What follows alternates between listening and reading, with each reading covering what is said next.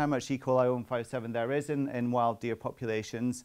And there's another study looking at um, potential risks for contamination of, of venison carcasses um, during the gralloching process um, uh, through to the final prod, uh, uh, product that goes onto the shelf for human consumption. And then I just sort of make a point here about uh, an update on some added value projects. What, what, what we thought was very important for this project is that um, we're collecting lots of samples. We're asking um, uh, gamekeepers and deer managers and the Forestry Commission to submit samples to us at Moredun, and we're very keen for these samples to be used for other projects. And it kind of goes back to the question, should we be collecting samples?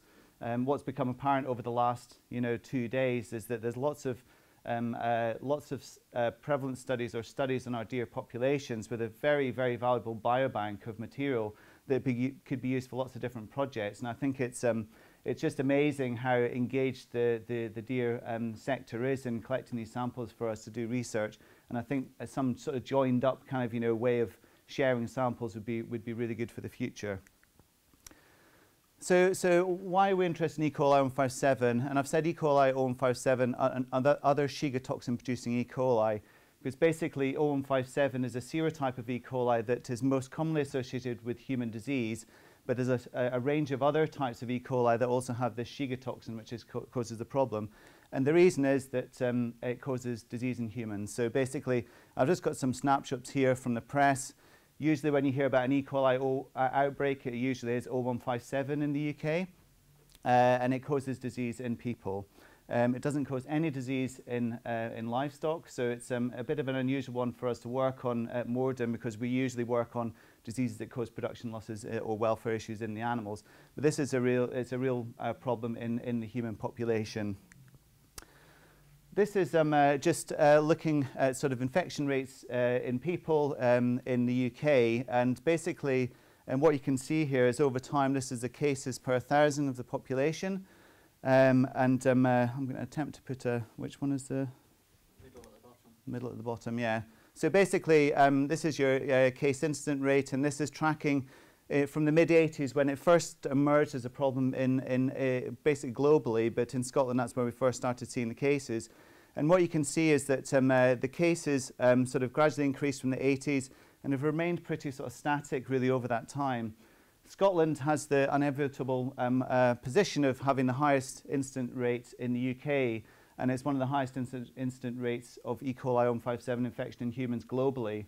Um, the reason for this, we think, is because Scotland has particular types of strains of E. coli 0157 uh, extending into the north of England, um, which seem to be um, more likely to cause um, human disease.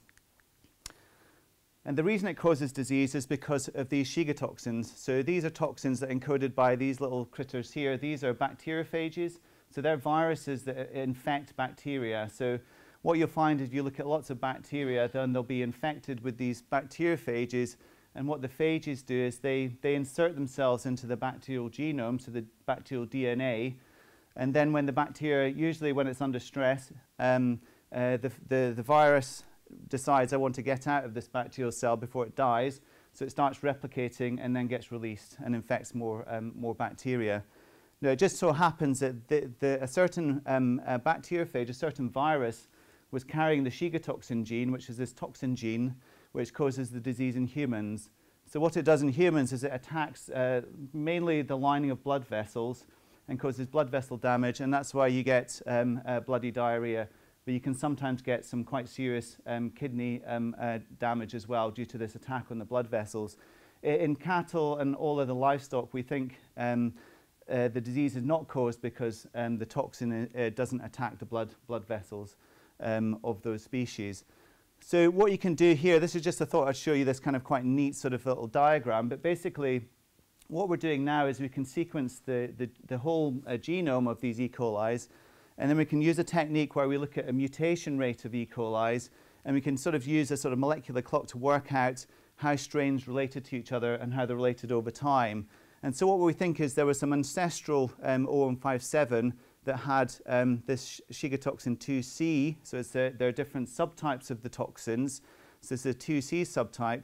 And you can sort of track to see how the lineages that we see, so different types of the E. coli 0157 have evolved.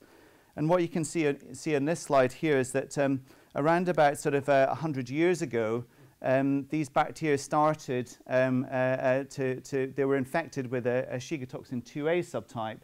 And we think that this is linking to why it's, un, it's such an, uh, sort of, uh, um, a disease that's, a, that's only just emerged in the sort of the last 50 or so years, because this is the toxin type that causes the most severe disease in humans. And we've been doing work on cattle, which is, we think, the main reservoir of E. coli. And we think it's really important for high shedding of, of E. coli 157 and for transmission between the strains. So I think, you know, I'm just telling you this because if I report this again, I'll put it into context about how many E. coli we see with this toxin gene. But it's cer certainly something we're, we're, we're, we're concerned at that 2A toxin is actually becoming more prevalent in our, in, in our um, cattle populations at least. So just some points here about um, 157. Some further points is that the reason that we're interested in it is because uh, ruminants are, are, seem to be the main reservoir of E. coli 157. So you don't really see it in any other sort of livestock. You don't see it uh, in any other mammals. Really, it really is a, a ruminant-specific uh, problem. So uh, sheep, goats, cattle, uh, and obviously um, there's interest in deer. But it really is cattle that we think are the main um, sort of reservoir of infection. And if uh, we've had three big prevalence studies in Scotland over the last two decades, pretty much giving us the same prevalence estimate, which is about one in, one in five farms will be positive for E. coli 157 at any one time. And if you go to those positive farms, it can be anywhere from about 5 to 8% of the, of the samples that you take are positive. So there's a lot of E. coli 157 out there um, in, in, in our cattle populations and, and potentially in the environment. So that's just to sort of put it into context. If you look at sheep, there's very little data actually on sheep, but um, it seems to be less in sheep. And in deer, um, we have very little understanding of deer. The, the human infections are usually caused by direct or indirect contact um, with ruminant feces. So, you, so sometimes an outbreak's really obvious. So uh, you might have, uh, a lot of people might have eaten uh, undercooked uh, um, beef burgers, um, and then you can link the outbreak to there. There was a big outbreak in a petting farm uh, down in Surrey, which was associated with goat shedding 0157. Um, and in that, in that case, a lot of children got infected. But the reason I'm talking to you today is because um, of an outbreak of E. coli 157. It was uh, contained this Shiga toxin 2 um, uh, um, uh, uh type of toxin, and that was associated with consumption of ven venison burgers, sausages, and, uh, and some other processed venison. And that, that was in October 2015. I think 11 people were sick.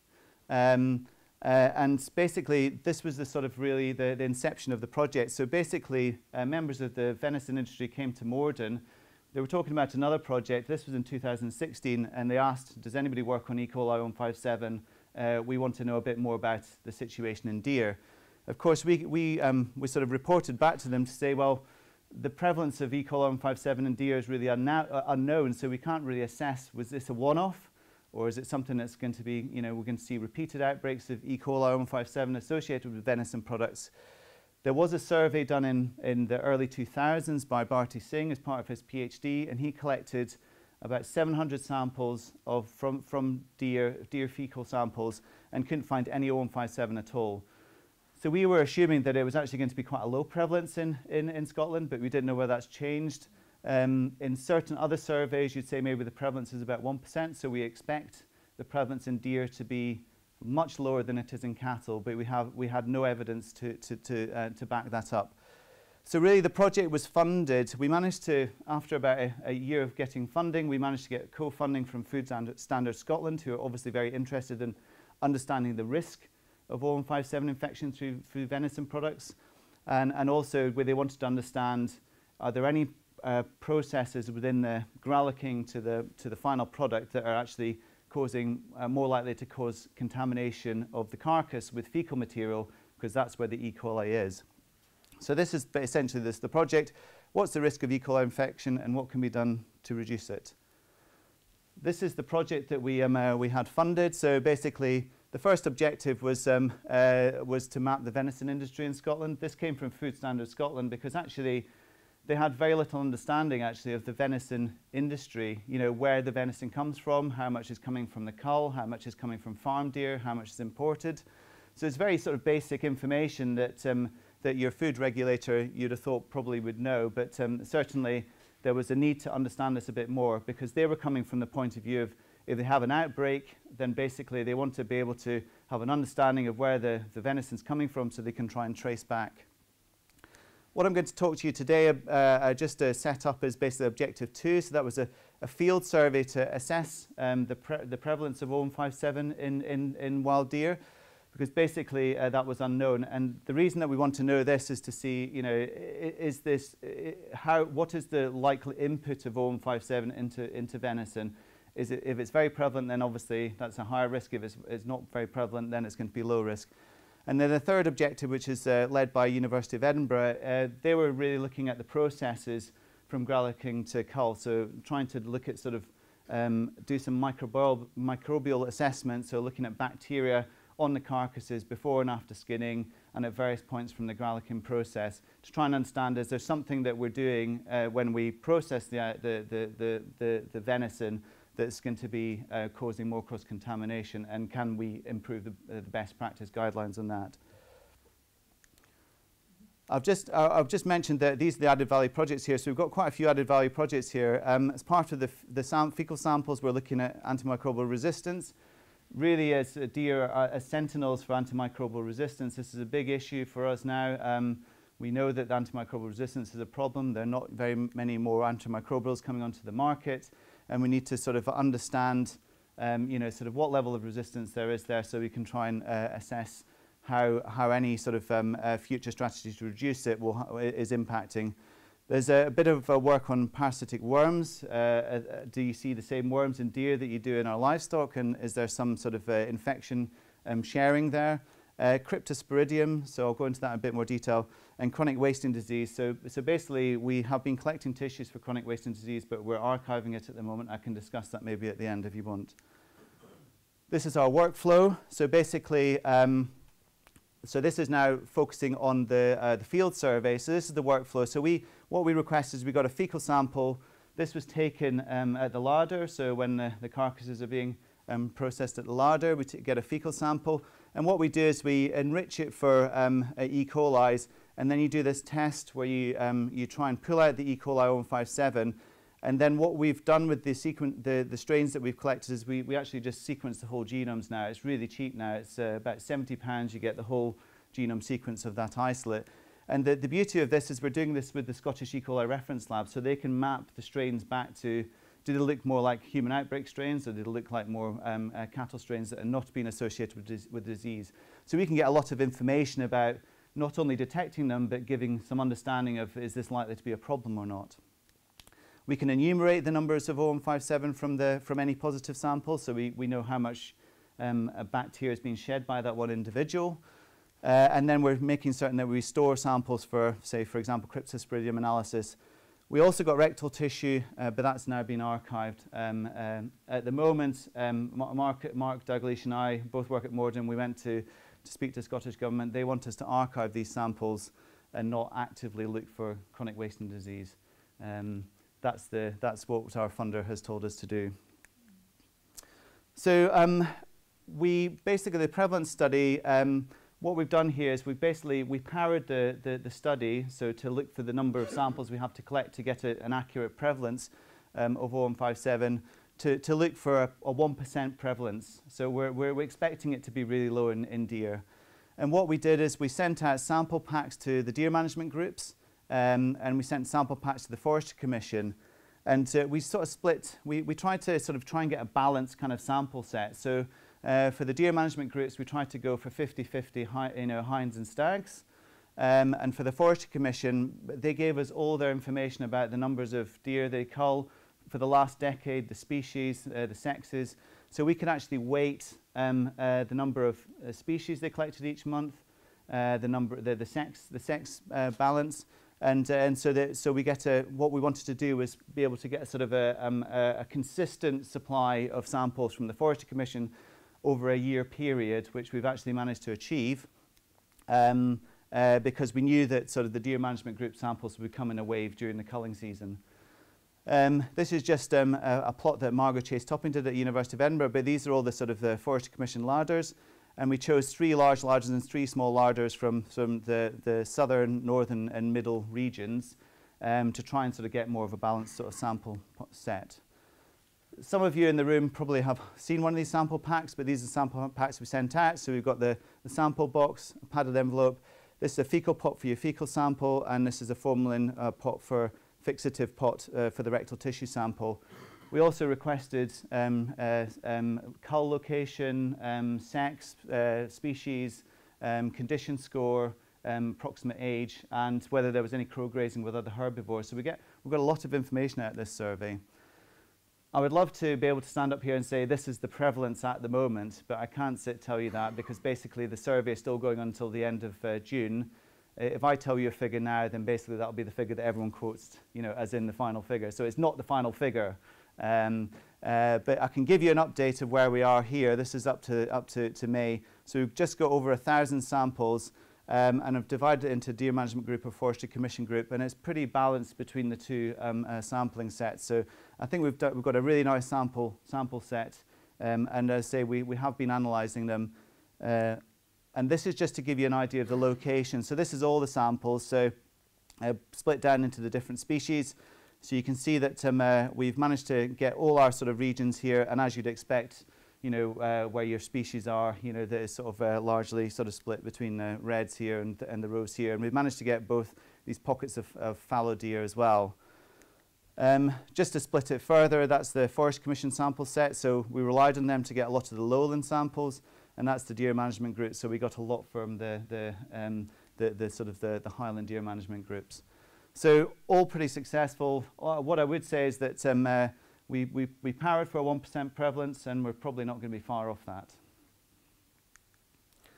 The third objective, um, so I'm just um, now talking about other people's work because we're doing the prevalence study at, at, Moredun. This is other people's work. So this is basically um, uh, Cristina Soare and Alex Seguino from the, the Dick Vet. Uh, they're, they, they're lecturers in public health and they're doing the, the cross-contamination survey. And so what they've been doing is they've been going across, they've selected um, five different um, uh, um, uh, game handling establishments across Scotland, and they've been looking at carcass swabbing for, for not for O157, but just for general E. coli, which are kind of tell you how much fecal contamination of a carcass is, there is. And they've been doing it sort of uh, inside the carcass before and, and outside um, before skinning and then repeating it after skinning. And this is kind of, you know, um, their sort of breakdown of what they've been sampling. So they've been sampling 135 red, 77 roe, and, and only three Sika.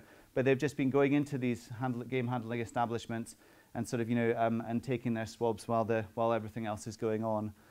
So this is the samples that have been taken. So um, this is kind of just the sort of the, I guess, the um, a sort of a, a, a cartoon of exactly what happens um, from, the, from the cull to the, the packing and labeling. So they've been, uh, they've been taking swabs from hide and skin, swabs from cavity uh, and, and skin on, and environmental swabs. And then once the, once the skinning and trimmings happen, they're taking some more swabs again and environmental swabs. And then finally, they're taking meat and environment samples. So uh, I guess the summary of, of this work is that they're, they're actually finding, they do find E. coli, as you probably predict, um, but probably not, not, not at worrying levels, I would say. Um, this is just an example of their sampling. Uh, so they basically have these little swabs. Uh, they go back to the lab and we look for, for just general E. coli. So we're not looking for dangerous E. coli, just general E. coli.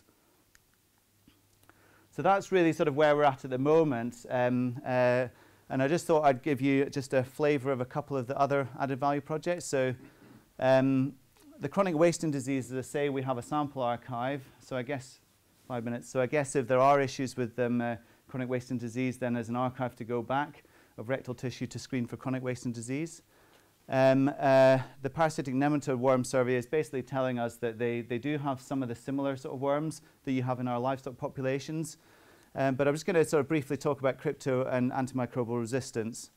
So cryptosporidium, uh, cryptosporidium is a really big problem in farming uh, because it and, and it also in, in deer farming because it causes this really sort of profuse diarrhea in young calves, lambs, and deer. And, and it causes like, can cause uh, quite severe illness and potentially death.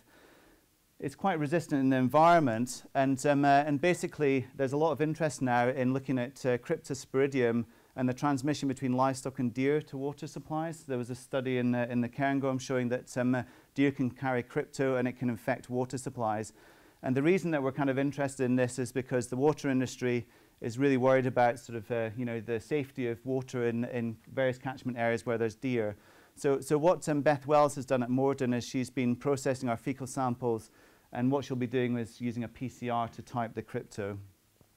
And then the final sort of uh, slide here is really um, what we're looking at is we're looking at um, antimicrobial resistance in the fecal samples as well. So basically, once we get the samples, once they've been screened by us, uh, then basically what um, Derek and Nuno are doing at, uh, at Moredun are basically they're, um, uh, they're, they're looking for uh, resistance to common types of antimicrobials, and, and they're doing some more detailed work on a, a subset of those. Really, this is to try and understand, you know, in the environment, you know, what's the level of antimicrobial resistance, because of course none of these deers have had antibiotics.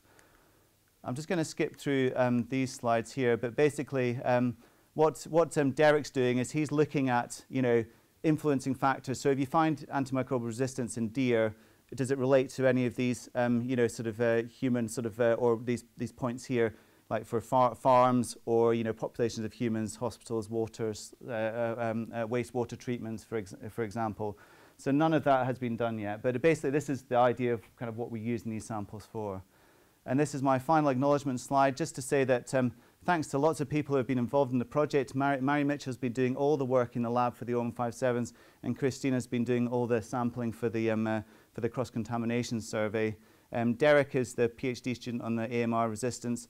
And I'd just like a big thanks to, um, to Dick and, and Richard who have really sort of driven this project forward. We've got this steering committee which is uh, full of excellent people, um, including John Fletcher, Jimmy Simpson, Leo, and John Bruce has now come onto our steering group meeting, so a uh, committee. So, um, uh, so we're trying to link in with BDS now. So thank you very much for listening, and I'm happy to take questions.